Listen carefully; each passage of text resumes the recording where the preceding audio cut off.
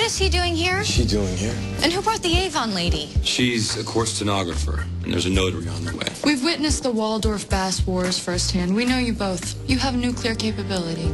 Sooner or later, one of you's going to press the other's button, and we're going to end up with nothing but cockroaches. You know we're way ahead of you. Yeah, we're in a truce. Which is why we figured you wouldn't have a problem making it official. A peace treaty based on more than just a handshake. So that's why we're going to sit down and hammer out the provisions of a ceasefire. And if either of you decide to break the treaty, He or she will be excommunicated. We'll no longer be your friends. Well, I suppose as I leave my teens, that I should start to think about my legacy. I have no objection to order in the kingdom. Let the negotiations begin. If you give me the standard on weeknights, I'll give you the Carlyle for the entire Christmas season. Done. But I want an addendum that you can't vet hostesses from a roster of restaurants I frequent. You can't have fashion week in both Paris and Milan. You have to choose. Never. But I will give you our Basel in Miami and Switzerland. Okay, moving on to Article 47, strip clubs in the outer boroughs. Sidebar.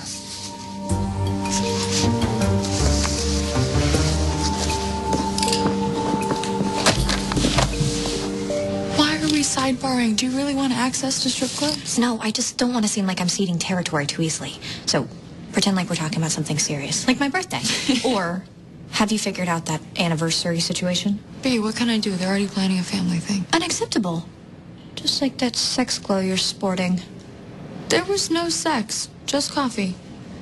Coffee is the thing you have before you pay the check to go have sex. It's different. Colin is. Our professor? The one you promised to stay away from except where class is concerned? Which is why we're only meeting during office hours. You are one macchiato away from making the same mistake that you always make, and I won't be an accomplice. Especially not on my almost birthday. Okay, fine. And I won't mention him anymore.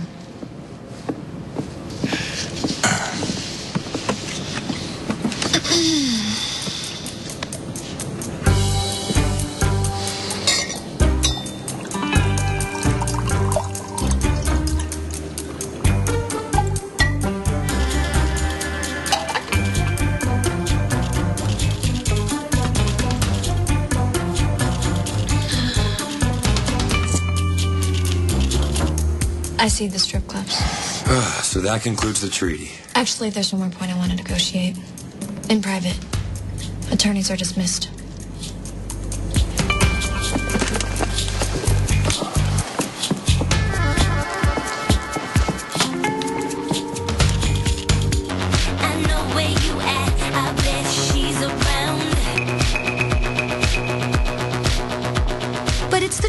Warrior who knows that wars don't end, they simply change.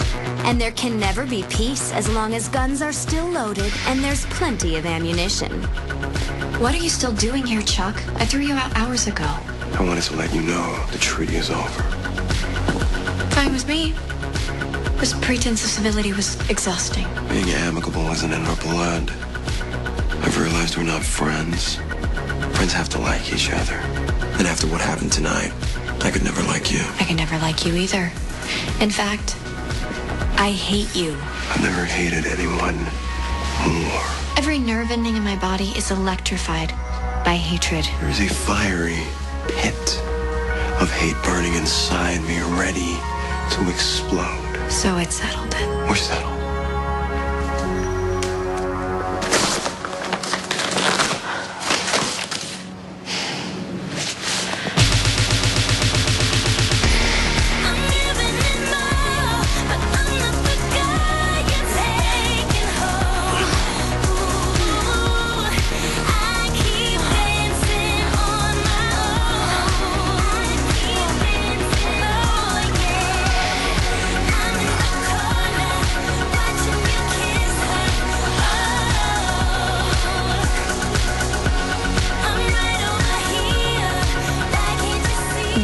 Weapons may be deadly.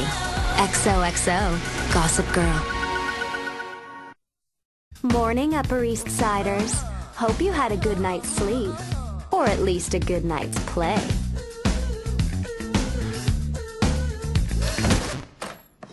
I need to talk. I'm having Colin issues. And boundary issues.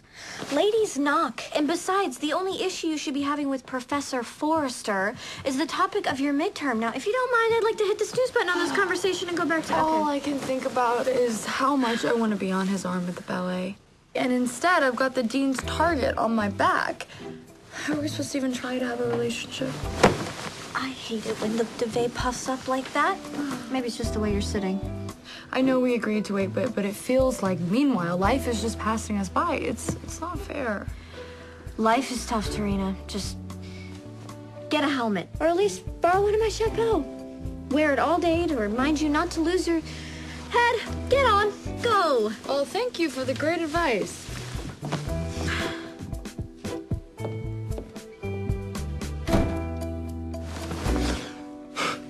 This comforter blocks out so much noise they could sell it at Bose. Got to end. I thought it just did. That was the last time.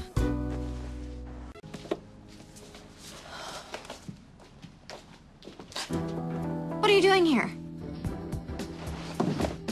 Step any closer and I'll scream. You better believe you will. If we're going to end this, we have to start the immersion therapy right away. What are you talking about? This is a detox. We have to stay away from each other. Where's the fun in that? Cleanses aren't fun, they're effective. You know what's even more effective? Excess. Eat anything too much and you won't want it again. I hope you did your yoga. This could go on a while. No! Miss Blair, no. Professor Forrester is downstairs. What? Why? He's here for me as my date. A date? Yes, and I must leave now to go to the ballet with him and not have sex with you.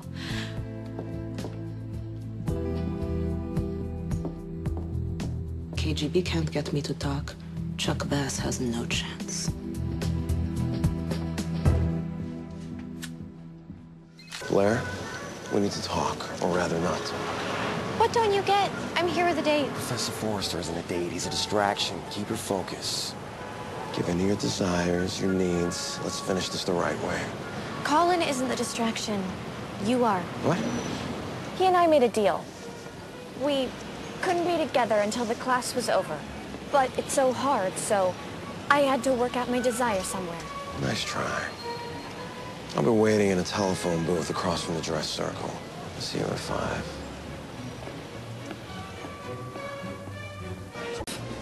Dean Reuther, may I please have a moment with you? Of course you're involved with this, Miss Waldorf. I told you and Miss van der Woodsen to try and stay off my radar. Dean Reuther, I'm not lying. What's going on? Nothing that concerns you, Professor, or concerns anyone for the moment. Actually, it does concern Colin. He's the one in the photos with Serena. Is that why you resigned your position today?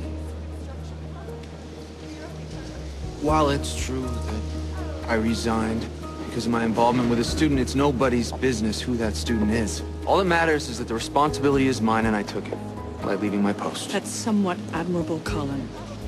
And while usually it's the professor and the student-professor relationships that takes the responsibility for any impropriety, if that student is under suspicion of trading sex for grades in the past, I think we might need to examine the situation a little more closely.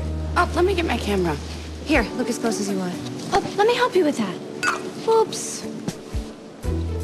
You didn't want to look at those photos anyway because it wasn't Serena in them. It was me. Blair, you don't have to do this. Why would I jeopardize my college career by lying? So go ahead, fire Colin. Oh wait, he already quit. So let's just go in and enjoy some jeté. Allegro. If I could say something, I, for one, can fully corroborate Miss Waldorf's story. She was indeed having an affair with Professor Forrester. I know this because I keep tabs on everyone Blair sees and talks to due to my insatiable jealousy. Though she did state something to the effect that he didn't quite satisfy her like I used to. It's true. Don't you see? They're all protecting each other. This is what they always do. I'm sorry. Who are you? Miss Sharp, the reality is that with no proof, I can't tell who is telling the truth. Yeah, well, there was proof. Until Blair drowned it.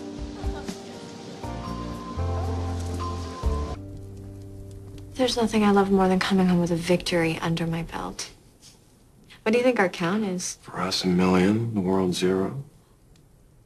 Sometimes I think a takedown's better than sex. Don't get crazy now. Well, it's an endorphin rush. Plus, it makes me think of old times. I really appreciate you stepping up tonight. I wanted to say you owe me, but for some reason, it didn't feel right. Wow. Holding back from a threat. It's almost like something a friend would do. Maybe that's because that's what we are. Friends. Well, who knew it would take tons of hate sex and a public takedown for us to finally get here?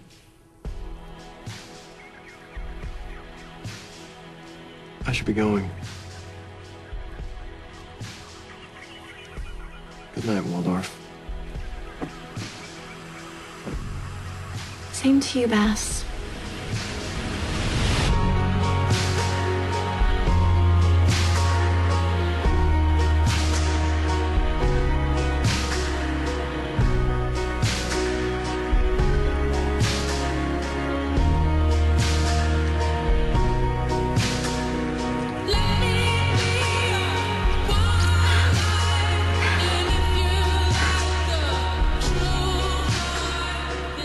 And there's no way of knowing if our journey will lead us to pleasure As much as I find Casey personally abhorrent, she's right about black and white. It's decent rather than decadent. You have something more devious in mind.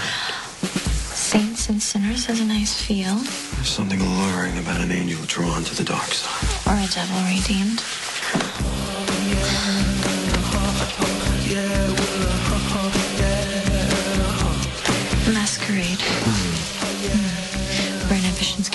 Break free. Like Casey and Gossip Girl.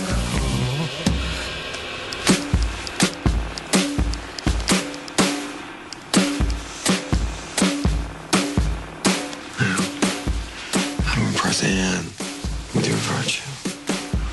I could denounce your unseemly party. A tasteful dinner in front of the whole board.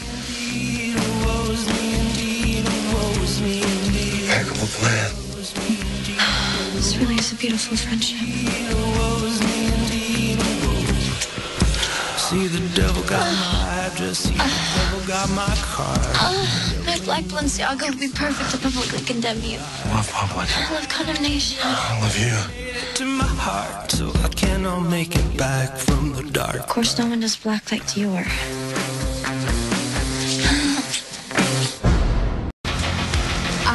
I avoided Casey's prying eyes. I appreciate that. And you being here half dressed, but don't you have a denouncement to attend? Dorota's distracting the board with DeLucci's Cavatelli until I get back. I heard what you said. What conversation are you referring to exactly? Three one-syllable words that, under the circumstances, you may or may not have meant. Do you want me to admit them? If they were true, I would want to know.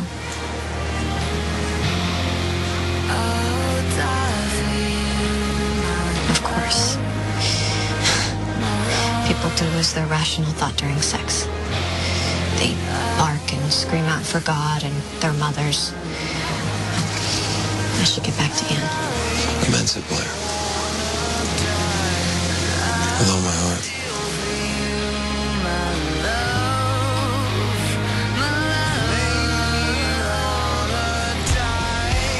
You gonna say something this time? I will. I, I mean,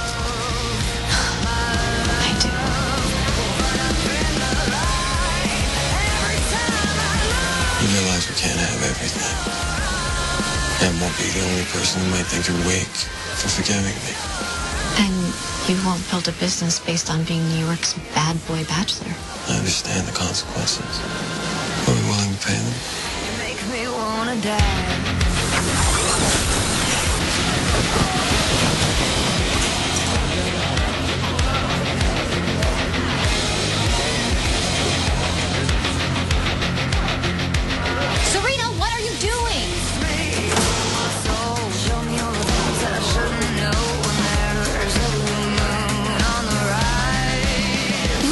Saints and sinners aren't the only ones battling for souls tonight.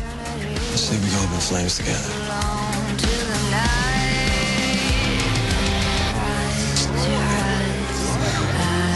It's no surprise C and B succumbed to the dark side.